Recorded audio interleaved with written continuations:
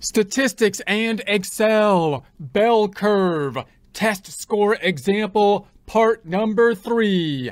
Get ready, taking a deep breath, holding it in for 10 seconds, looking forward to a smooth, soothing Excel.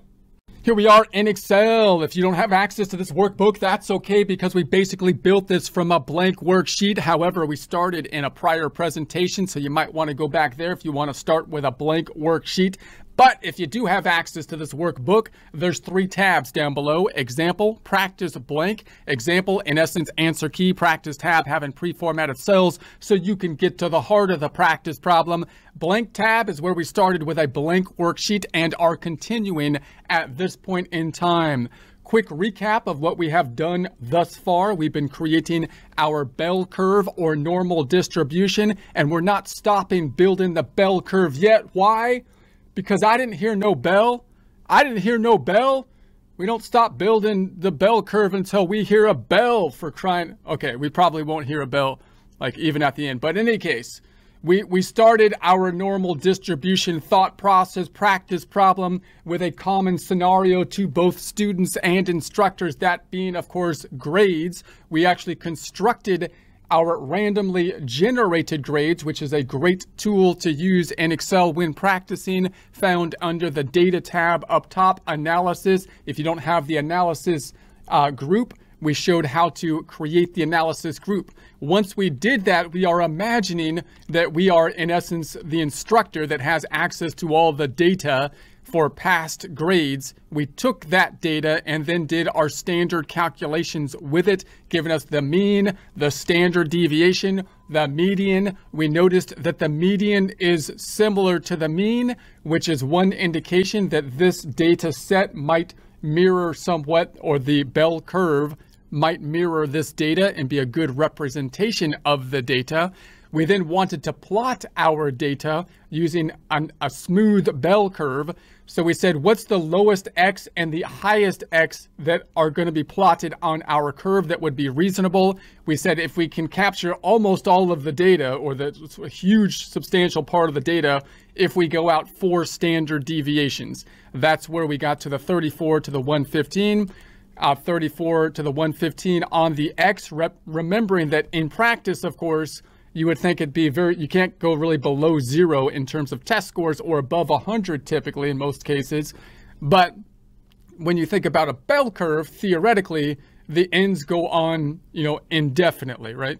And also remember that we represented our test scores in terms of whole numbers as opposed to percentages. We then calculated our norm.dist for each of these areas so that we can then that we can then create our graph, which was the blue part of the graph over here by going to the insert tab, going to the charts, and we inserted an area graph, which is this one.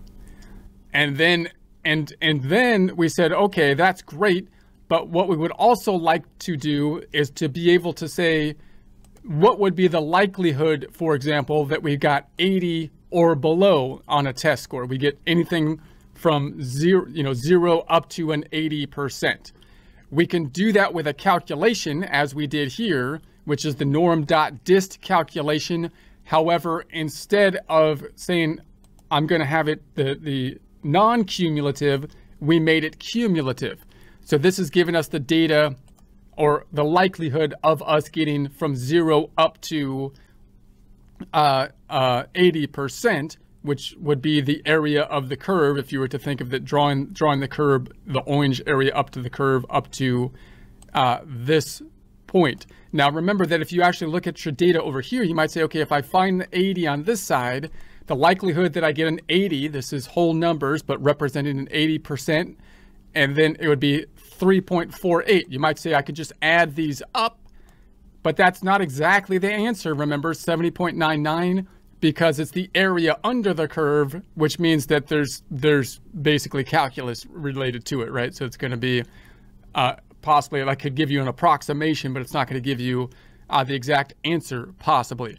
Then we can also represent this in terms of the z-score, which we calculate by saying the number that we want, 80, minus the mean, the middle point, 74.92, divided by the standard deviation, representing the spread.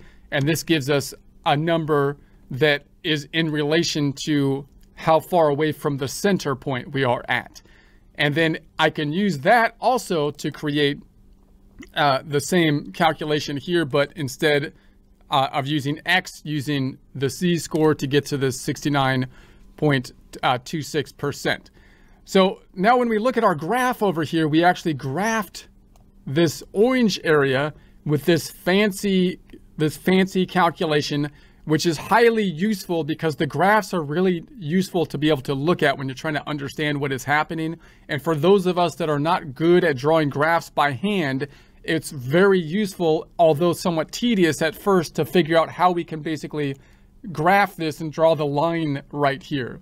So the way we did this is we did a logical test and we just said, hey, I want to use my if logical test and say that if uh, this number uh, is less than or equal to the point we're looking at, in this case, the 80 that we found over here, making that absolute, then I want you to give me this number. And if not, I want you to give me just blank double quotes, just nothing. And so that's why it graphs this stuff down to that point where it's 80, and then there's nothing after that point. So when I add that second graph on top of this one, you can see now the orange part of the graph is just kind of overlaying the blue part. It's basically on top of it, and you get that nice distinction.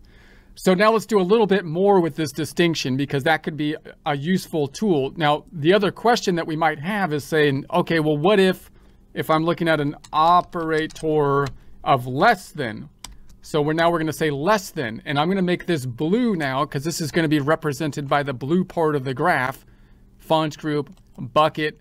Let's make this like a, a blue. It's not the exact same color blue, but a blue. and then I'm going to say, well, if, if this is rep if the orange is representing the the amount up to the 80, then the blue is is going to be the inverse, right? So that's going to be P of X is going to be uh, uh, greater than the 80. So I can say, okay, and, and of course, I can do this by just saying this is going to be equal to 1 minus what I got here, right? And so if that's 6926, then this is going to be home tab, number group percentify, adding some decimals, the 30.74. And if I add those two up, I'm holding control to get the 100. They add up to, of course, the uh, 100%. Now, if I was to do a formula